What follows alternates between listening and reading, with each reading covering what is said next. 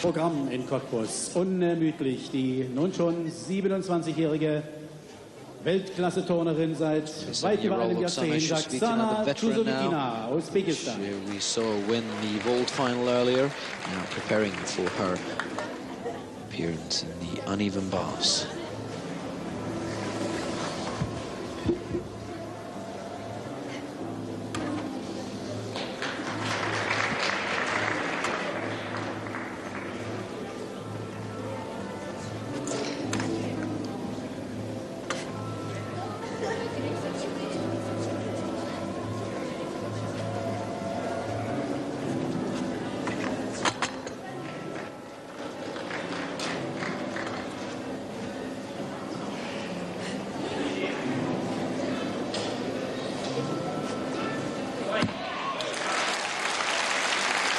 Tatsukahara, double with the full twist, ending that routine. No major Es ist die problems for personifizierte.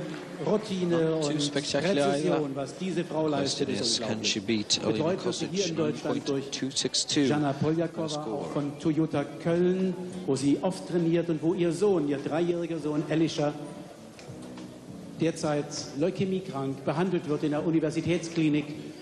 Und die Solidarität der internationalen Turnfamilie hat es geschafft, bereits über 60.000 Euro zusammenzubekommen, die Hälfte der Behandlungssumme, damit Elisha eine Zukunft hat.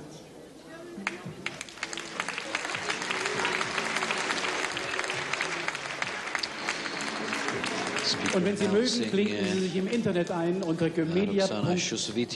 Dort finden Sie auch die. Spendenadresse.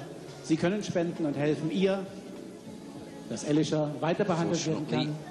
Denn die Bedingungen in, zu Hause in. Usbekistan hat sie dafür The leider nicht.